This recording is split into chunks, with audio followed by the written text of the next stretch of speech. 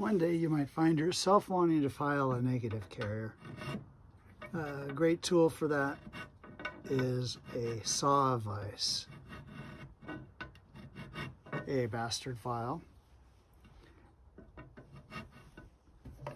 some calipers,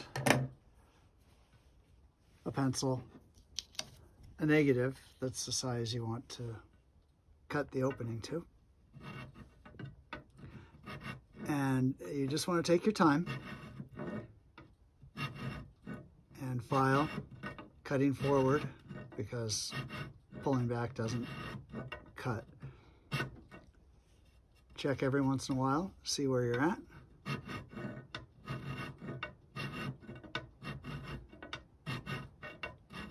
Now, you might wonder why you want to file a negative carrier.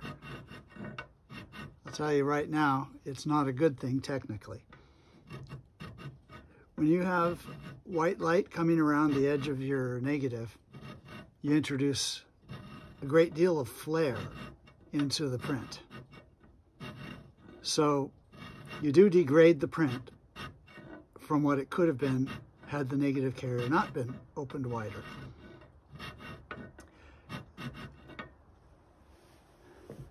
You also end up having shiny edges that cause reflections that change the shape of the outline.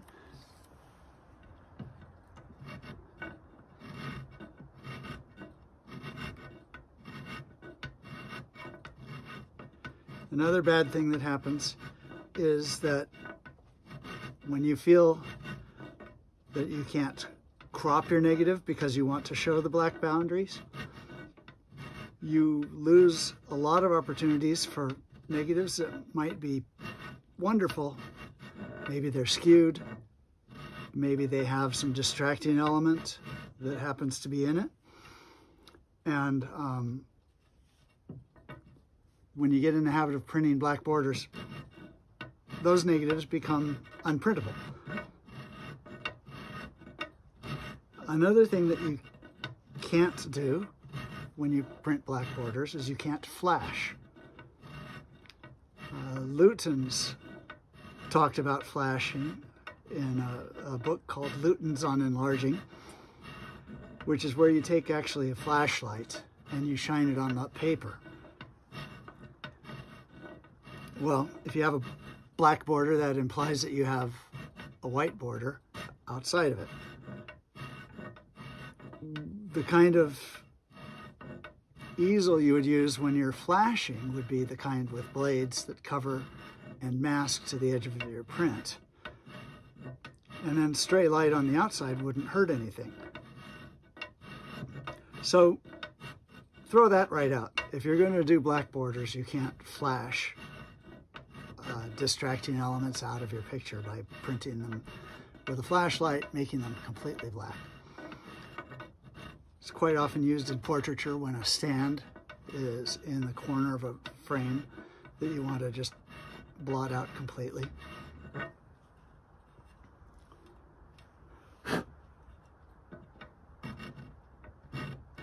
Another problem, Ansel Adams talks about how the edges of a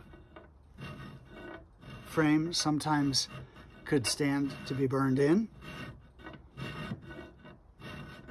And that's just a visual change to make. Uh, black borders interferes with that. Because if you try to burn in the edges, you'll notice it on the boundaries. And also the flare makes uh, the problem worse. So save yourself. Don't print black borders, but if you do, just file carefully, take your time. Work the negative carrier until you just have a tiny sliver of light around a negative and it'll be just right. Uh, a trick I like to do, I like to cut a wild mark somewhere in the frame to kind of own the negative carrier and identify it for time and year. What that does is it it leaves sort of a signature in the outline that you can tell what year you filed the negative carrier. For example, this particular negative carrier I'm filing in 2021 and any print that I make through this negative carrier is going to be a contemporary 2021 print. My vintage prints won't have the, that mark, so you could tell the difference between old and new prints that way.